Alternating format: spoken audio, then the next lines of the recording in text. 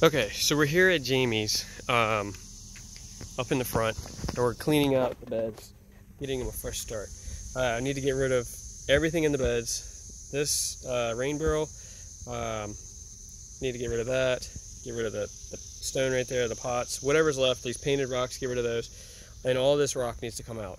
Um, it's all this lava rock. We need to haul it out of here, get it out.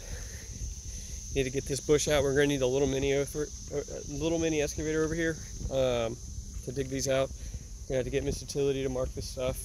Um, not sure where it is, but we can't. We have to dig it whatever wherever the lines go. We got to do that part by hand. Um, but we need to remove all this. Um, I would keep this edging here. Uh, it's probably going to end up coming up.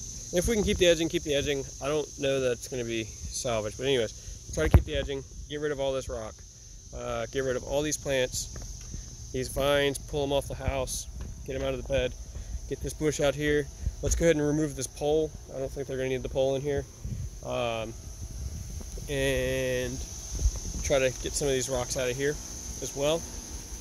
Uh, blow the leaves out, get all everything out. And then what we'll do is we're gonna install a dyed black mulch starting around these units and going around the front of the house. And that should be it for the mulching. And then we're going to come back here and remove these plants as well that are uh, around the deck. So I need to dig these out, get the little mini over here and dig those out.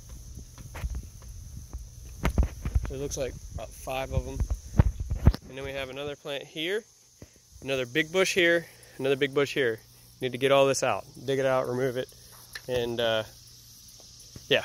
So getting all that cleaned up, removed. And that'll be it for the first section.